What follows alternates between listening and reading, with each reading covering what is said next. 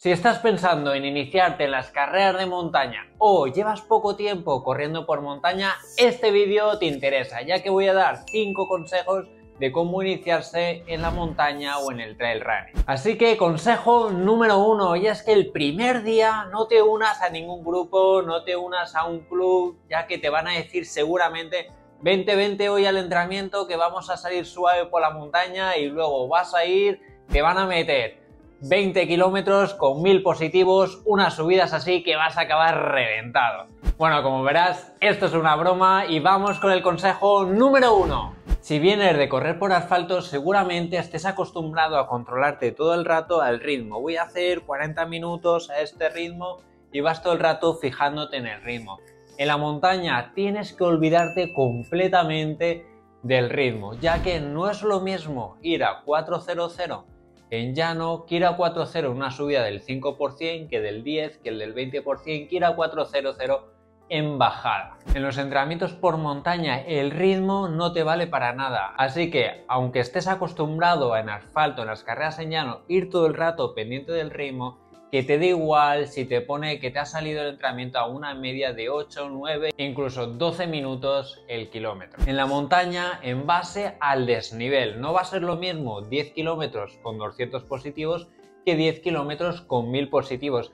Y en base a la tecnicidad del terreno, pueden ser recorridos más de pista, que se puede correr casi todo el rato, o más técnico con mucha piedra donde no te permite el correr y tienes, aunque por sitios llanos, tienes que caminar.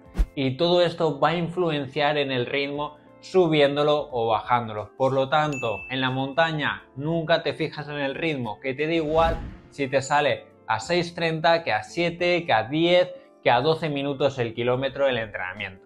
Antes de seguir, aquí abajo en la descripción de este vídeo te he dejado un enlace en el cual puedes descargar de forma totalmente gratuita mi ebook Las 5 claves del entrenamiento en running y trail running, donde aprenderás las claves sobre entrenamiento, nutrición, fuerza y técnica de carrera en corredores.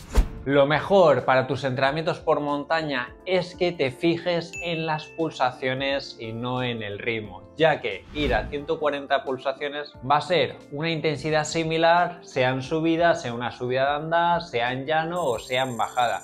140 pulsaciones va a ser la misma intensidad, sea como sea el desnivel. En cambio, el ritmo no tiene nada que ver. Consejo número 2. Empieza por rutas fáciles. Aunque tengan mucha experiencia en carreras por asfalto, aunque lleven muchos años corriendo, tu musculatura está habituada a correr en llano. En cambio, en la montaña tenemos desnivel, tenemos desnivel de subida y sobre todo desnivel de bajada donde hay una carga excéntrica a la que tu musculatura y tus tendones no están acostumbrados.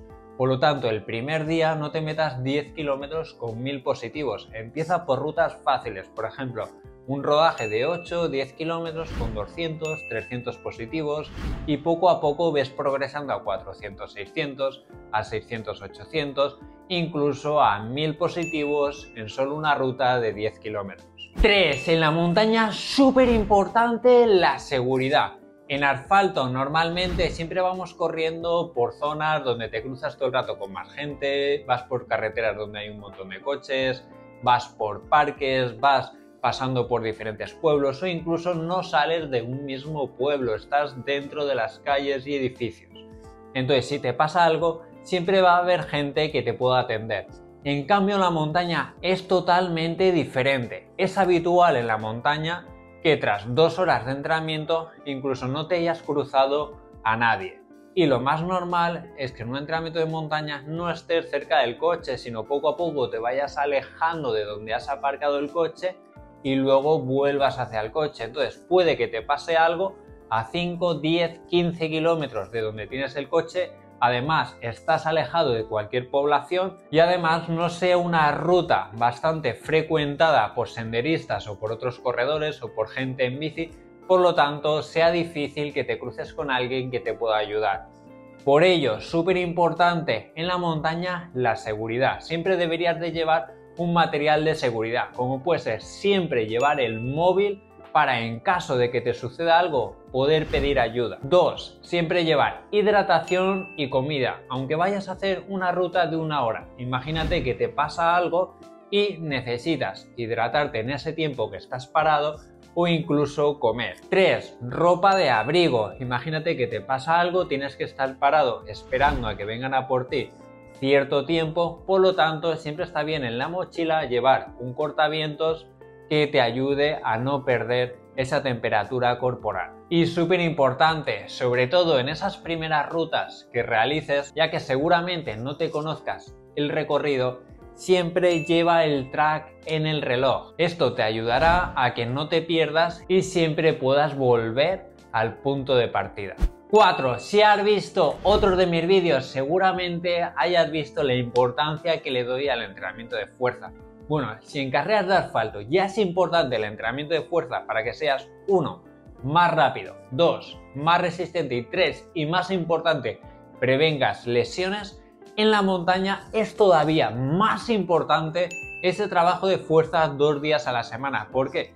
Porque el desgaste muscular, la fatiga muscular es mucho mayor en las carreras de montaña, por esos desniveles tanto positivos como sobre todo negativos. Cuando no hemos practicado montaña pensamos en lo duro que es subir una montaña, pero cuando te metas ahí verás que donde más te desgastas seguramente a nivel muscular sea en las bajadas, por esas frenadas y ese trabajo excéntrico que conlleva. Por lo tanto, súper importante, tanto antes de iniciarte en la montaña como durante todos los meses que entrenes, acompañarlo de entrenamiento de fuerza para fortalecer tus músculos y así prevenir lesiones y disminuir esa fatiga muscular en la montaña.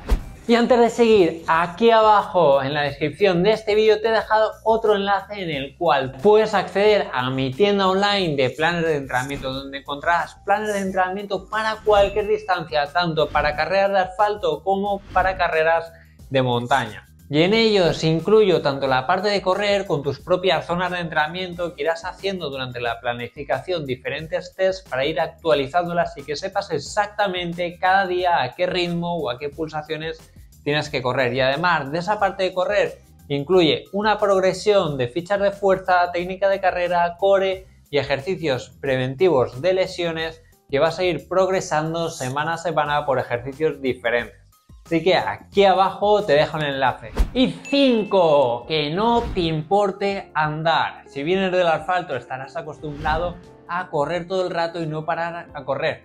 Es raro ver en una media maratón, en una maratón de asfalto, a alguien andando. En cambio, en la montaña, lo más normal es ir andando. Casi todo lo que se sube, en casi todos los niveles de rendimiento, va a ser andando. Por lo tanto, que no te dé vergüenza andar.